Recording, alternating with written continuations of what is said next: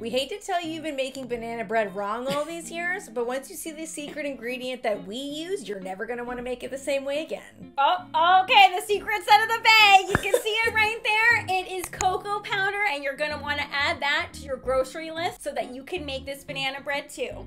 It all starts in the same way that pretty much every single banana bread starts with. You got some bananas on the counter, you're like, they're starting to turn. Maybe I'll make a banana bread. And you know what? The mankier the better. if they're old, if they're brown, why make smoothies when you can make banana bread? You want to give them a definition of what manky means? But you know the type of bananas when they're like they're definitely not ready for eating. They're too brown. You're they're like this close to going in the compost. Perfect definition of manky. Thank you. This is also one of those pro tips that I like to pass on to you. Maybe you're making your banana bread with a fork, so mashing the bananas with a fork. What I like to do is use a potato masher. I hate when tools in the kitchen are just good for one thing. I do it too. And then we're gonna add in an egg. Here is where I like to make sure my banana bread is a little bit more moist because nothing's worse than a, a dry banana bread. No, I like to add sour cream to my banana bread. looks good already. Looking really, really smooth, really delicious. We're gonna go in with some good old white sugar. So creamy. And then here is a pro tip I have for portioning out tablespoons of butter. All you're gonna wanna do is cut about a half inch off of your butter block basically and then divide those into four equal squares. That is exactly a tablespoon of butter. Ooh, very cool trick. So then there's eight tablespoons there. Throw her into the microwave. So we're just softening it. You're not gonna, you don't want melted butter for this recipe. And then we're gonna throw it into our banana bread mixture. Oh, this is making my stomach hurt because I want it so bad right now. Okay, that's not the goal of this video. I don't want that little tummy hurting. it literally, I don't know if you guys could hear that. It was literally like. So then here is the secret ingredient. Good old cocoa powder. That's what's gonna take this banana bread up 10,000 notches. And then if you're looking for another 10,000 notches, you're gonna wanna go in with some chocolate chips. okay, so this isn't banana bread, it's banana cake.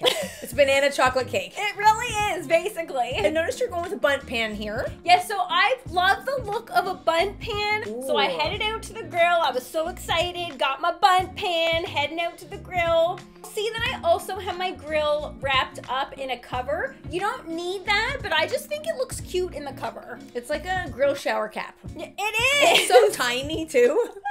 and this is when it all went wrong. Uh oh. So I put the Bundt pan into the grill, went to close the lid, and as it was closing, I was like, that's not gonna fit, that's not gonna fit, and it didn't fit. Is it just too tall? Like, what's the problem? It's too tall, and I, my Bundt dreams just went out the window like that. It could still work if you had a smaller Bundt pan.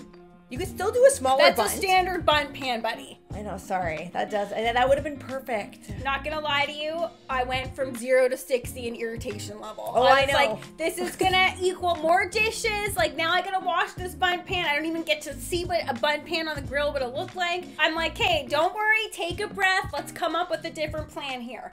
Started slamming things around a little bit, looking through my cupboards, looking through my drawers. You look peeved. I was, I was. I know that face. I was like, I don't want a loaf. I'm gonna throw that loaf pan off to the side. I know these aluminum pans fit into the grill, so I was like, I ain't taking any chances. What's wrong with a loaf? I just didn't feel like a loaf. So this is where I start being like, you know what? It's all right. It looks good. I think that looks good. And then for good measure, threw on a little bit more chocolate chips because you can't go wrong with some more chocolate chips. If you're in a bad mood, chocolate chips will always fix it. So true. Back out to the grill. I'm like, I know this is gonna fit. We don't need to freak out here. Preheating process went smoothly. Put the banana bread onto the grill. I still was a little bit hesitant about that lid.